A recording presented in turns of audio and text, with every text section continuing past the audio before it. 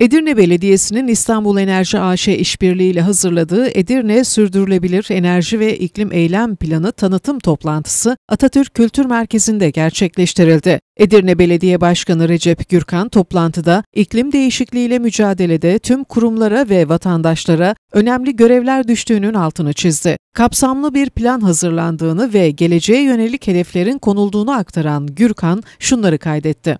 Tabii Edirne'nin dezavantajları var. Özellikle karbon salınımı noktasında dezavantajları var. Biz 200 bin, 220 bin nüfuslu bir şehiriz.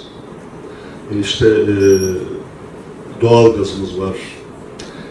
Araç, e, kişi başı düşen araç sayısı ona göre zannediyoruz ama en büyük dezavantajımız, en büyük avantajlarımızdan birisi, en büyük de dezavantajımız e, dünyanın Amerika-Meksika e, sınırından sonraki en büyük ikinci kara sınır kapısı bizim ilimizde.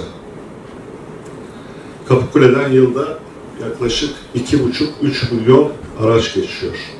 Her gün 1200 tır çıkış yapıyor Kapıkule'den.